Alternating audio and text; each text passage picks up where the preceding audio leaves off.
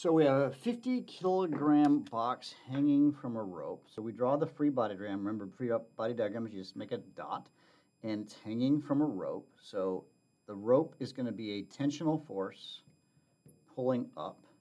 And then there will be the weight, the force of gravity, which will be uh, m times g. So in this case, this will be 50 times 9.8, uh, acceleration of gravity on the Earth, and that's 490 newtons. So we've got 490 newtons pushing down. Got it?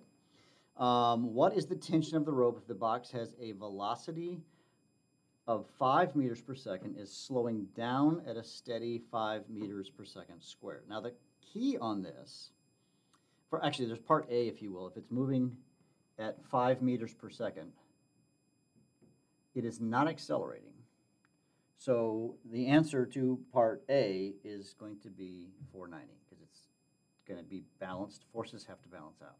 But for part B, we now have a second thing going on, right? We now have a, we are accelerating at 5 meters per second.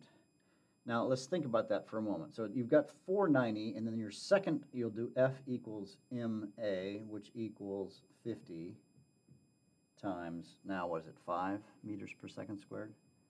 So that's 250 newtons. Now here's the question that you have to ask yourself. Am I going to add these numbers or subtract these numbers? That's the trick on this. So let's think about the question.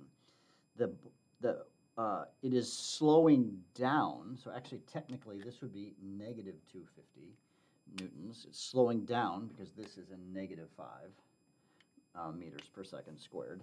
And so since it's go it's slowing down, that will reduce the tension on the string, right? So it's it's moving up, but it's slowing down and it's moving up. Think about it like an elevator. If you're on an elevator, when you are going up, right, you feel heavier. Don't you think about that for a moment? And then when it's going down, it's falling, it reduces. You feel like you're, you're, you have less weight when you're accelerating downward. And so in this case, what you'll do is you will you will actually subtract or whatever. You're going to add this plus the negative. So it's 490 minus or plus negative 250, and you get 240 newtons. So it, you have to think this through. Sometimes getting the signs right, uh, that'll help. But I think what helps the best is if you think through it logically and think, is this going to make this like heavier or is it going to make it lighter, right? Because the object is is going downward, right, with a, and it's slowing down, which is going to reduce the weight instead of increase the weight. If it was increasing in its speed, you would add these two numbers.